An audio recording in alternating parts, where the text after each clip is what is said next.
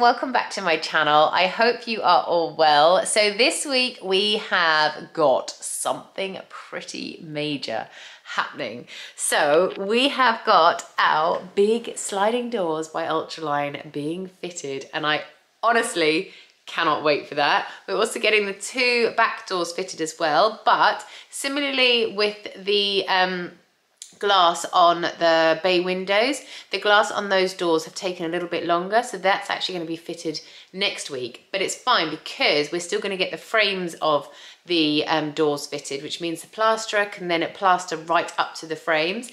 But also, I don't even care about that because our sliding doors are being fitted. We're getting the frames, we're getting the glass, we're getting absolutely everything.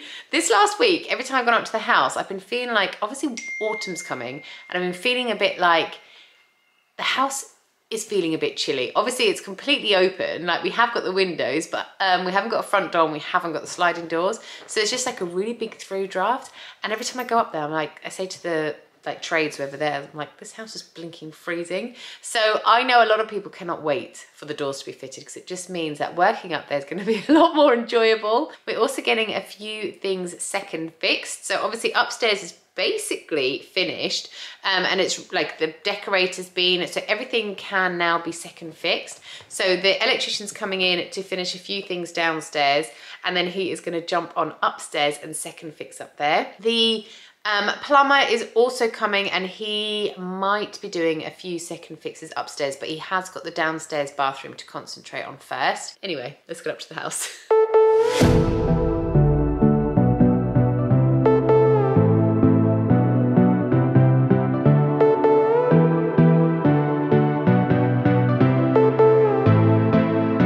so we've got quite a lot of second fixes going on here. So as you can see, we've had our shower put in. So around there, it needed some like white tape to um, fit it. So we just need to get some black silicone to go around there.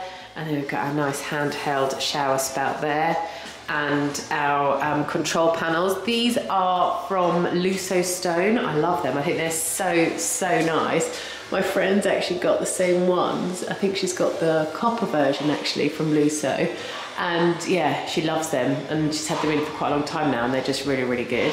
In here we've also had a lot of second fixes when it comes to electric so we've got our Warmup underfloor heating. We're actually the very very first people to ever have these control panels in the UK these are brand new to Warmup um, we've got them for downstairs as well. So we were going to have black panels, but they were going to be a little bit bigger. And they asked us if we wanted to have these panels instead. Um, we did get the black ones with our order. So they actually said, I said, oh, should I send them back? And they said that we could do a giveaway, but I will tell you more about that in another couple of videos. Maybe next week's video, because that's when we're fitting all the underfloor heating downstairs. But they're very, very snazzy, Wi-Fi and everything. So we can turn the heating up and down on our phone.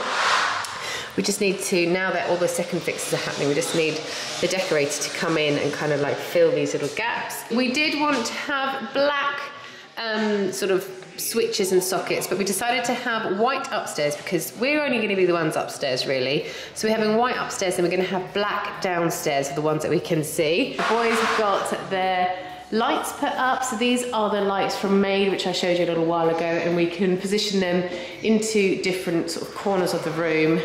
This is Chris the plumber. and he is busy in here today second fixing this bathroom. Right, so our builders have just got our opening ready for Ultraline. So what we have done here is we have had the builders do a solid base for the doors to go onto. So we just poured concrete into here. And this is 85 mils below the finished floor level. The track from Ultraline is actually 75 mil, but it just gives you another sort of 10 mil tolerance for going up and down um, to make sure that you do get a flush finish. So as you can see on the wall here, here, our builder has marked our um, finished floor level like a metre above our finished floor level. This is actually 1,085 mil above that base level that I was talking to you about. And that is because, like I originally said, that is 85 mil below our finished floor level. So here we are having underfloor heating. This is a really thin profile underfloor heating. So we've just laid our underfloor heating and our tile on our solid floor. And then we've allowed an extra 15 mil for adhesive to go down and for like the tile adhesive too, because we're gonna stick the underfloor heating pads to this concrete base just to make sure they don't move and we don't get any cracking in the grouting. And then obviously we're gonna have adhesive underneath our um, tile too, which will go directly onto our underfloor heating mat. So we've allowed the underfloor heating, the 10 mil tile, and then an extra 15 mil for sort of extra adhesive allowance as well. So yeah, this is our opening all done. We've taken away any plasterboard and any other plaster that was on here. So we just chipped that away so the opening was nice and clear for them to come and fit the tracks on. So as you can see, this is the triple track. This is what we're having so that all our doors can move either way. So um, what Dom has also done here is he has run our DPM on the inside because basically these doors are effectively outside in the wet zone. So we want to make sure that everything inside is going to be kept in the dry zone. So Dom has like laid our DPM inside so that when the track has then been fitted, he can just cut away any excess DPM here um, to make sure that no water can get inside from the tracks. I also thought I'd just show you that we also have the cavity closer in here as well. Um, so now they're ready to fit the doors.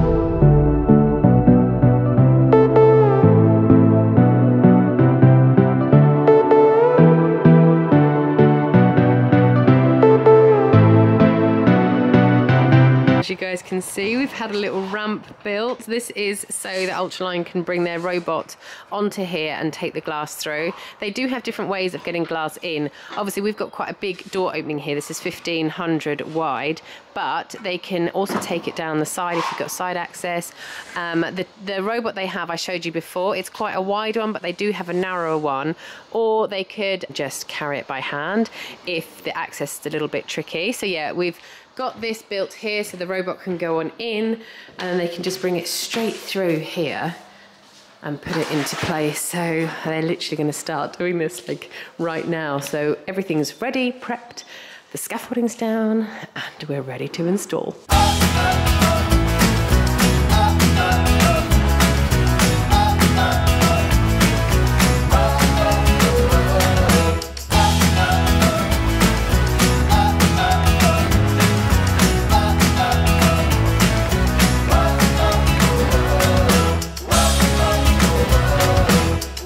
Frame has just been installed now. So obviously Ultraline do offer a service where you can have your frame fitted first and then your glass next, like second. So sometimes the glass takes a little bit longer to manufacture than the frame does, which is why they offer this service. So we were actually going to originally have this so that the trades still carry on doing their work. So for example, if our frame's in, then the renderer could have come and rendered into the frame. So they've got an end point, but obviously our glass was ready at the same time as our frame, which is why we're getting it all fitted at once. But we definitely would have got the frame done first if the glass hadn't been ready, just so everyone else can get on with it.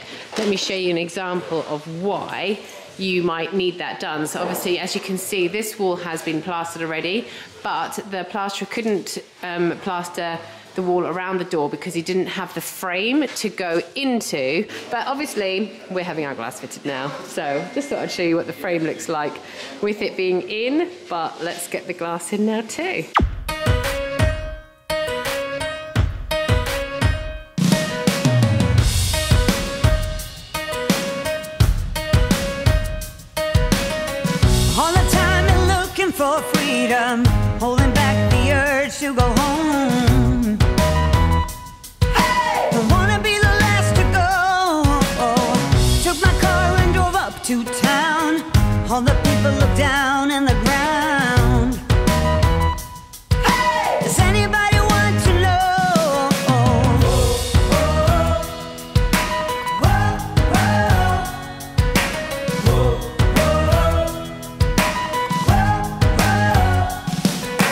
Okay, so it's now the next day. Ultraline have gone. When they left last night, it was a little bit like dusky, so I feel like I couldn't show you the doors properly.